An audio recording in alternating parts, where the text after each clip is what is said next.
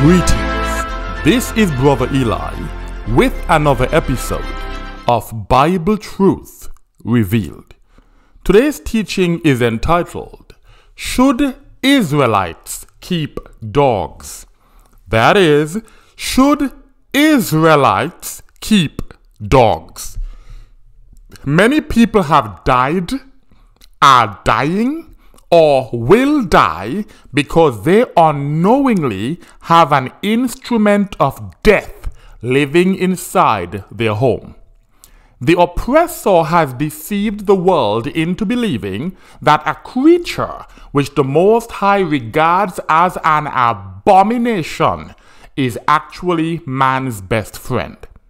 In this teaching, I will clearly explain why dogs must not live inside the homes of the holy people of the Most High.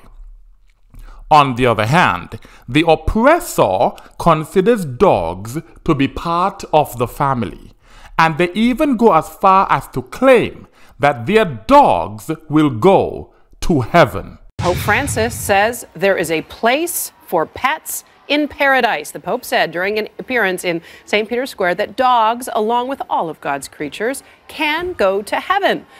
The children of Israel have adopted too many of the disgusting practices of the oppressor. Having dogs inside the house is one of these abominable practices that must stop when we learn the truth about the oppressor's furry friends. Whilst there are examples of dog ownership in the Bible, there are no instances of dogs living inside the home. Dogs living inside the home is a disgusting heathen custom. Dogs can serve us well, but their place is outside the home.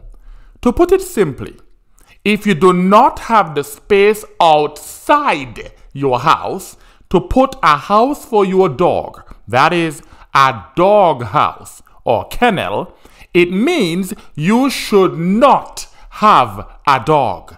It's that simple. The simple fact is that in biblical times, dogs worked outside the home. They did not live inside the home. We can find example of a working dog in Job chapter 30 verse 1. Job chapter 30 verse 1 in the Brenton Septuagint translation reads thus. But now the youngest have laughed me to scorn.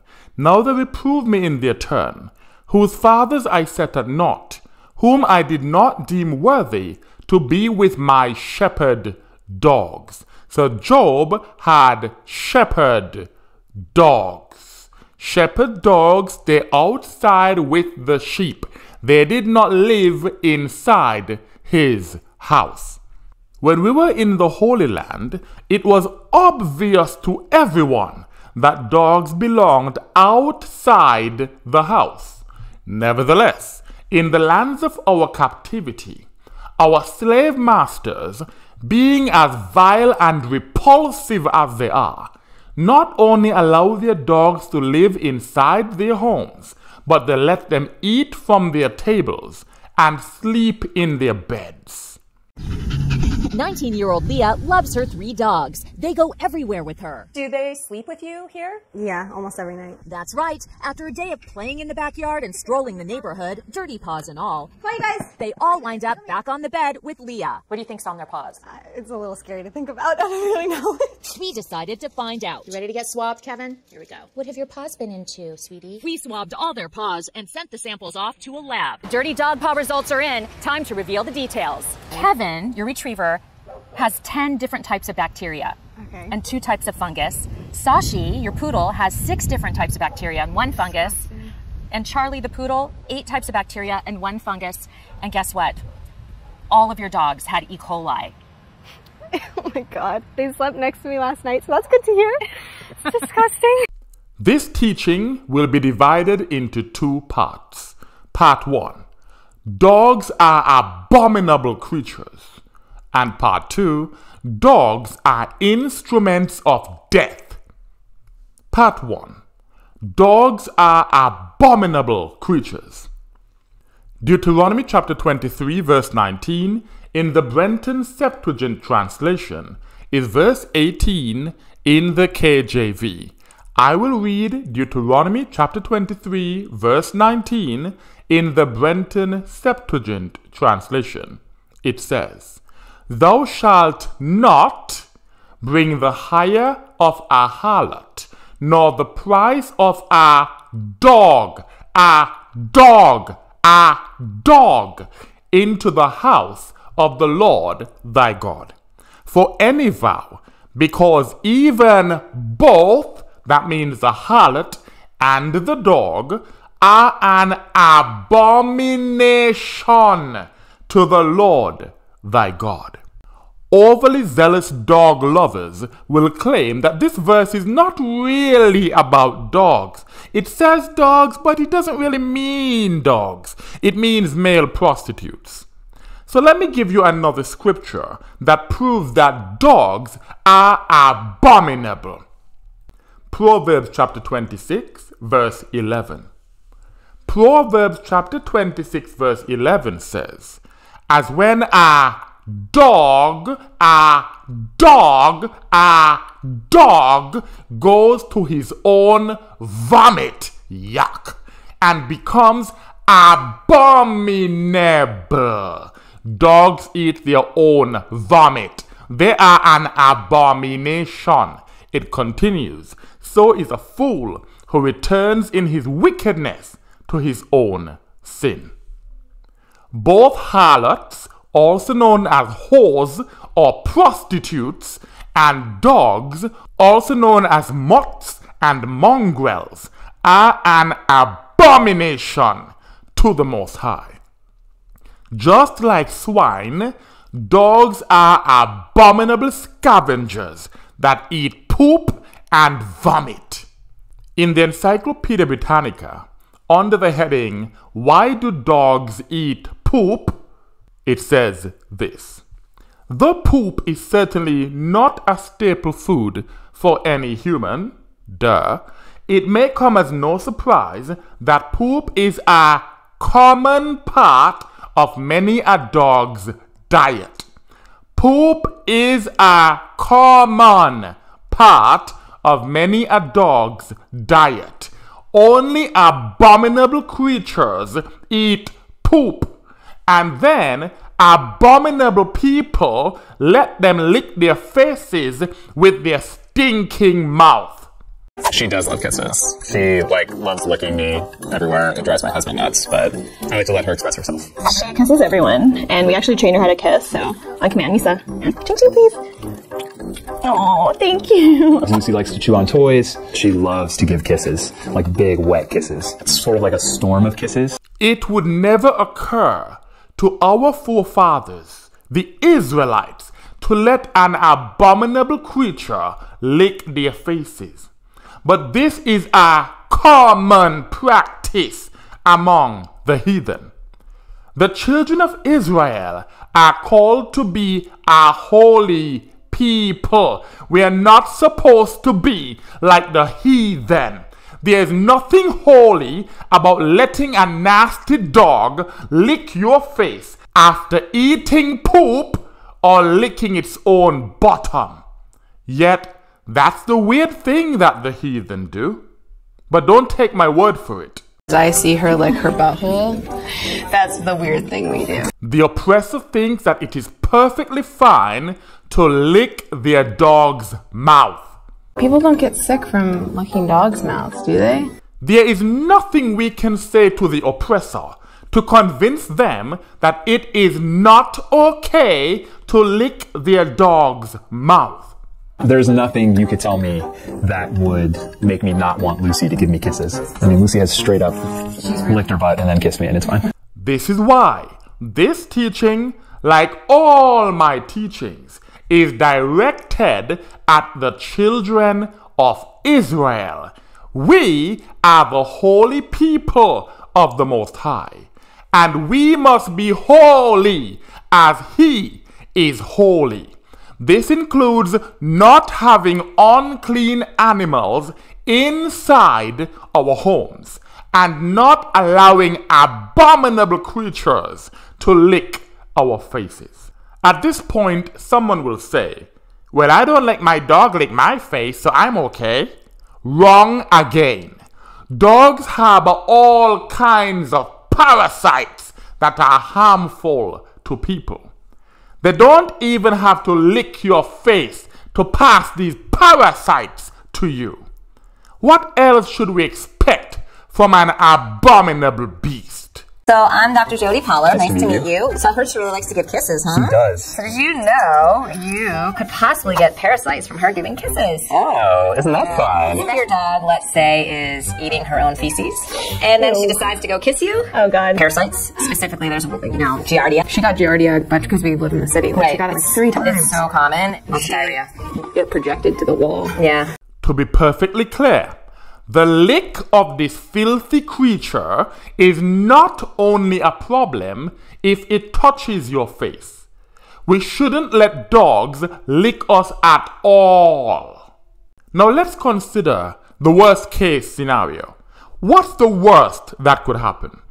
Just one month ago, Greg Manteufel was a long way from a hospital bed. He loves riding his Harley. Dawn Manteufel says her husband was perfectly healthy, but what they initially thought was the flu landed Greg in the emergency room. It hit him with a vengeance. It's just bruising all over him, like somebody beat him up with a baseball bat. She says life as they knew it changed forever. Blood tests revealed an infection caused by the bacteria, Capnocytophaga. It took a week, and they were taking his legs. The infection very likely entering Greg's system by something so common, getting licked by a dog, probably his own. This type of bacteria comes from the saliva of dogs. Righteous Israelites must not follow the abominable practices of the heathen.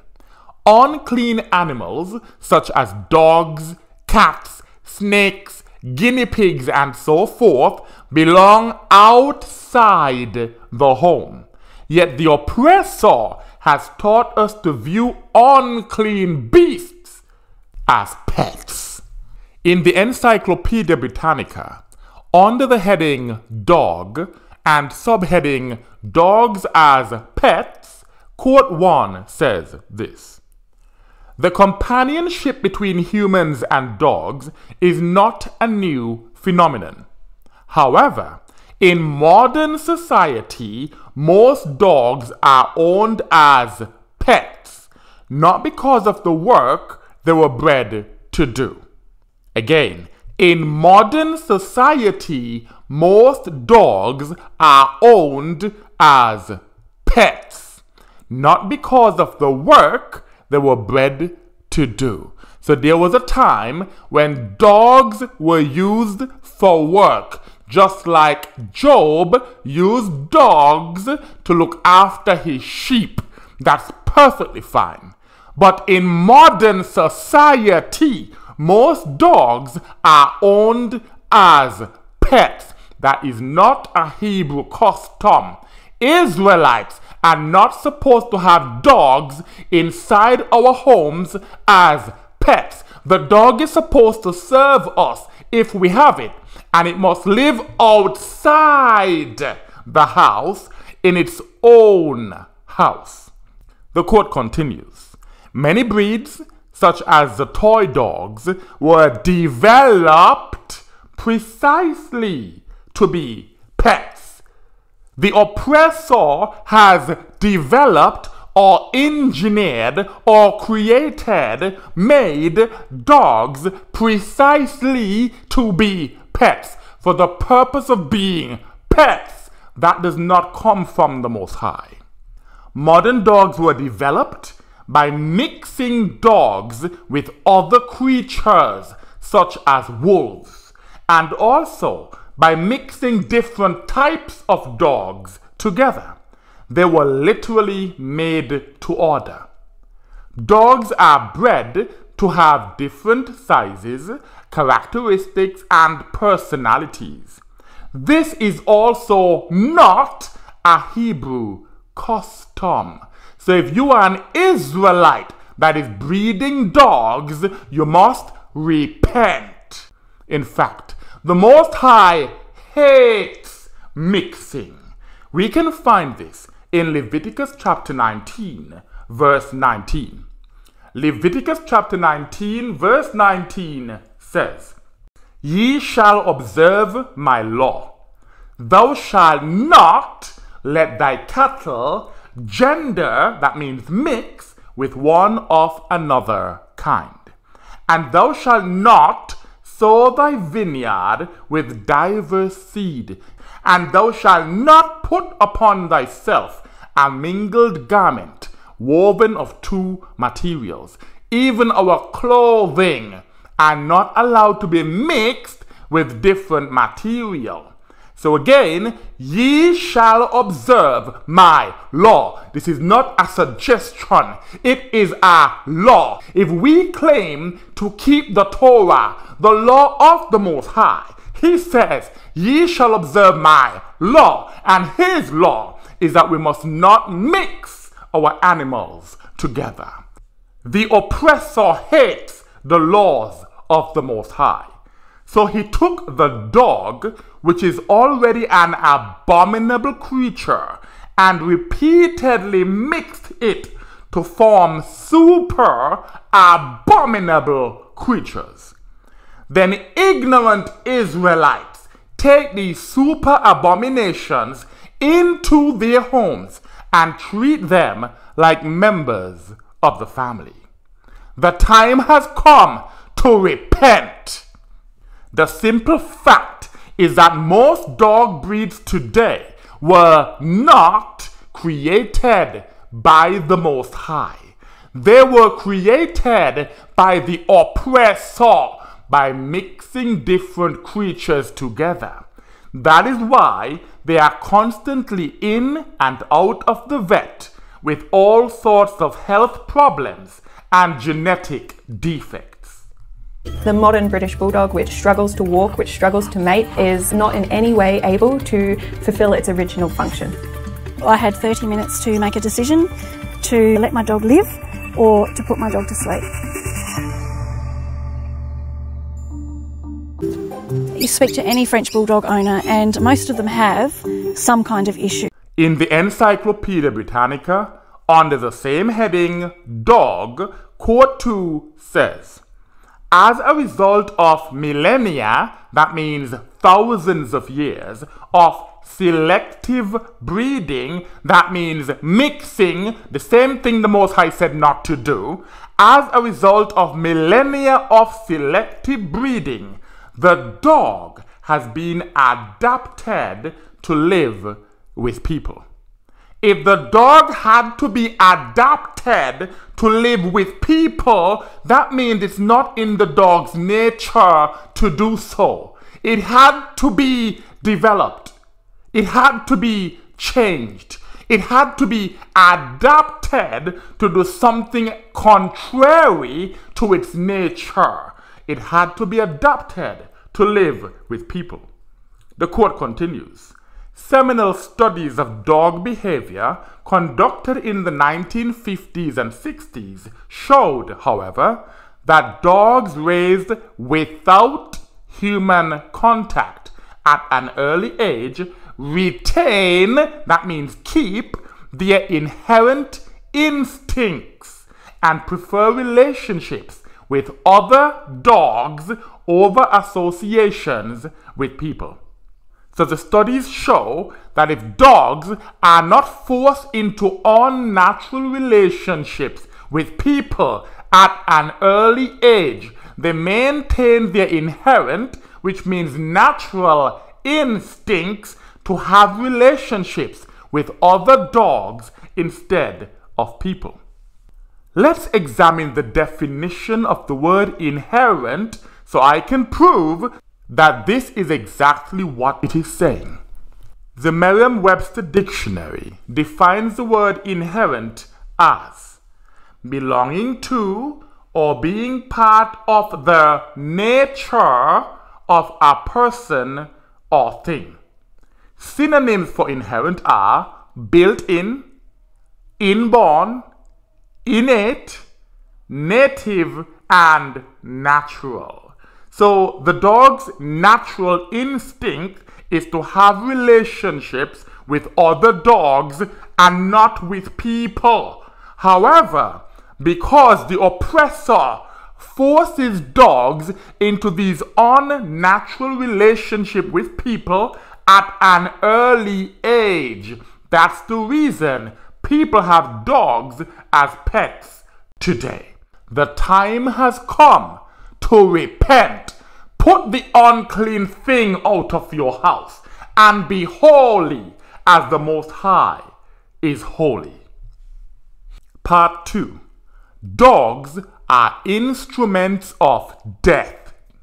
This part of the teaching will demonstrate the vicious and unpredictable nature of these abominable beasts. I genuinely sympathize with persons who have already fallen victim to these instruments of death.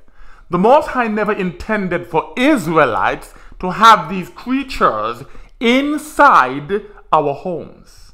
They are like ticking time bombs that can explode at any time for no apparent reason.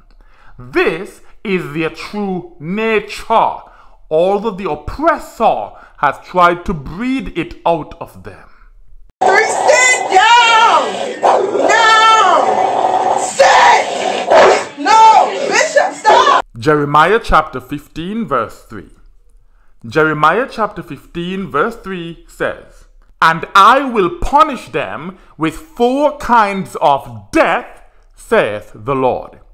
The sword to slay, that's one kind or instrument of death, and the dogs to tear, so dogs are an instrument of death, and the wild beasts of the earth, that's the third instrument of death, and the birds of the sky to devour and destroy. The Most High created the dog with the inherent, inborn, natural instinct to tear things apart.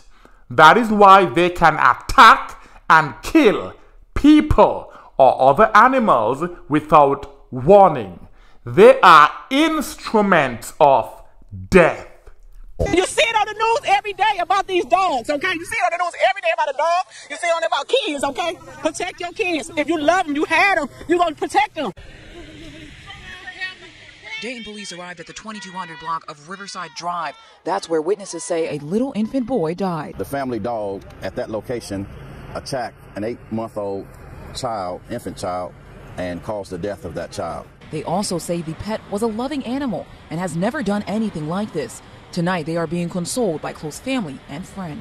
So called family dogs, household pets, or man's best friend can snap at any time and attack even their owners. This is the inherent, inborn, natural instinct of the dog. However, the oppressor tries to breed out this natural instinct to turn dogs into family pets. This is a recipe for disaster. 3 Kings chapter 20 in the Brenton Septuagint translation is 1 Kings chapter 21 in the KJV. I will read 3 Kings chapter 20 verses 23 to 24 in the Septuagint. It says, And the Lord spoke of Jezebel, saying, The dogs shall devour her. That is what dogs are supposed to do. The dogs are instruments of death. That's why it says, The dogs shall devour her within the fortification of Jezreel. Him that is dead of Achab in the city shall the dogs eat. Dogs would eat anything, including people. That is their natural, inherent, inborn instinct. They are scavengers that would eat anything, including their owner, if given the chance. Again, Him that is dead of Achab in the city shall the dogs eat, and him that is dead of him in the field shall the birds of the sky eat. Expert Frazier is trying to figure it out. What could have triggered his dog to attack? Attack his wife, Angela Smith. It was so vicious, she died. He says he never saw it coming. I left out the house. I just left out the house for just 15 minutes and I come back. She was dead. Frazier says he got Kane as a puppy eight years ago from a relative. He says the dog was well trained, well behaved. The owner tells me he knows pit bulls have a violent reputation, but he's still surprised something like this involving his dogs has now happened. So when it comes to fatal dog attacks, pit bulls were involved in 72% of all incidents. 83% of those pit bull attacks happened inside the home. 42% of the victims were children under the age of six. Because most fatal dog attacks involve the pit bull, some people are quick to claim that it is only certain breeds of dogs that attack and kill people. Therefore, they can feel safe keeping their family dog inside their house because it is not a vicious dog. Let's carefully examine this fallacious claim. On the website of the University of Liverpool, news.liverpool.ac.uk, there is an article entitled Dog Attacks on Adults Are Rising, but science shows it's wrong to blame breeds.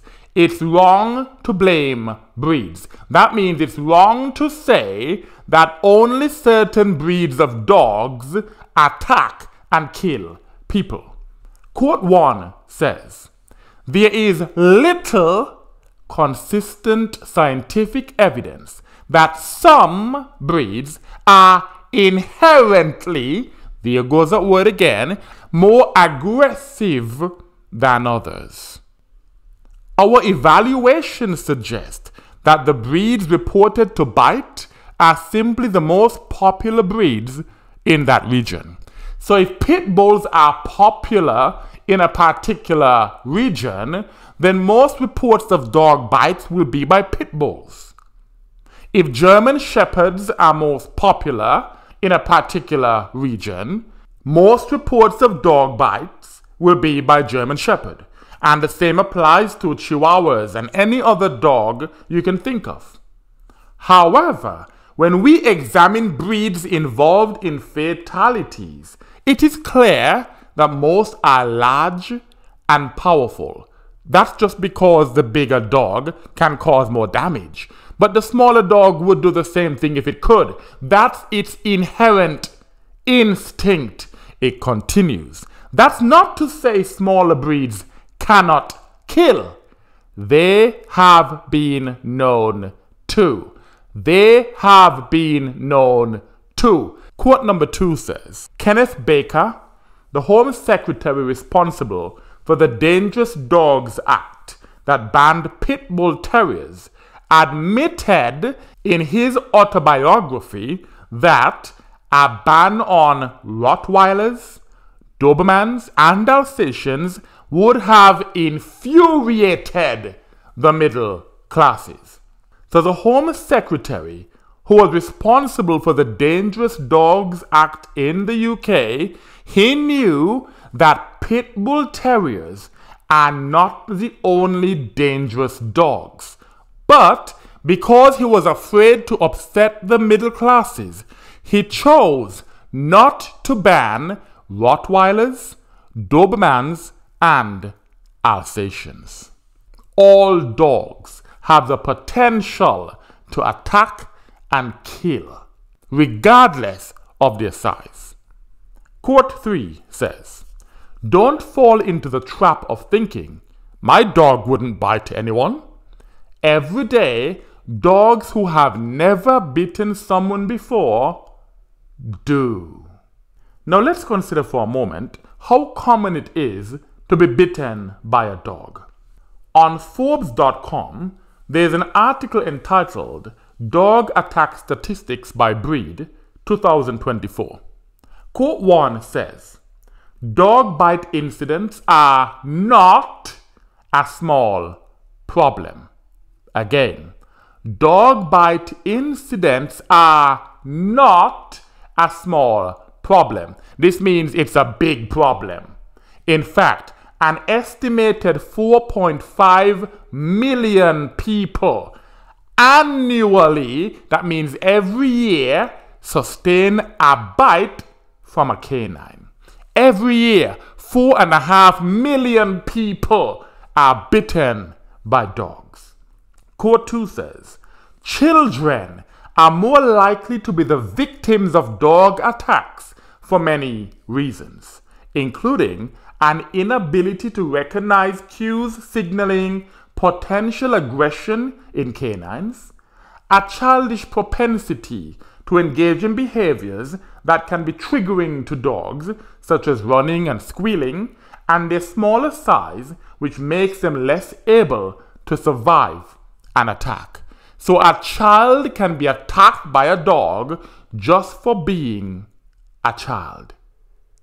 The Most High did not intend for Israelites to have these dogs around our families. Our children should be free to be children without us worrying about a dog's natural instinct kicking in and that dog mauling and killing our child. A horrifying dog attack caught on camera in Texas. Shantae Wright Haywood pulling her two-year-old son CJ from the jaws of a stray. The dog running at CJ as they were leaving their home before Shantae scoops him up and spins him away. The dog keeps lunging at the toddler, chasing the pair right up to the front door. Shantae able to shield CJ as the dog jumped up and snapped at him, eventually able to hand him off to his sister waiting inside before escaping into the house herself. But the dog wouldn't let up, breaking the door off the hinges and pushing to get in.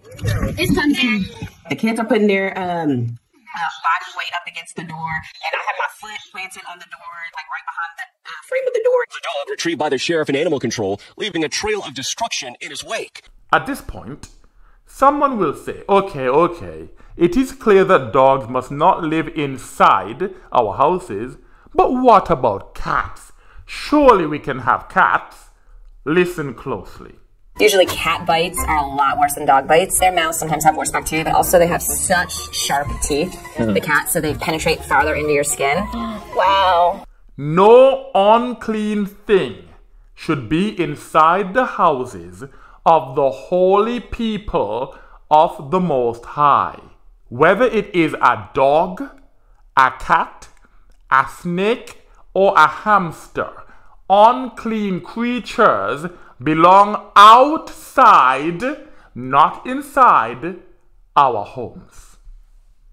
In conclusion, despite the lies of the oppressor, dogs are not man's best friend. They are abominable instruments of death that must not live inside our homes. Whether it is their bite, their lick, or some parasite or illness that they carry in or on their abominable bodies, the Most High created them to be instruments of death. Therefore, if you choose to have a dog, it should have its own house instead of living inside your house. And it goes without saying that your dog will not be going to heaven. I pray that my people, the children of Israel, would stop allowing the oppressor to brainwash them into letting dogs lick their faces, eat from their plates, and or sleep in their beds. Repent before you become the next victim of these instruments of death. And with that, I say, Salam.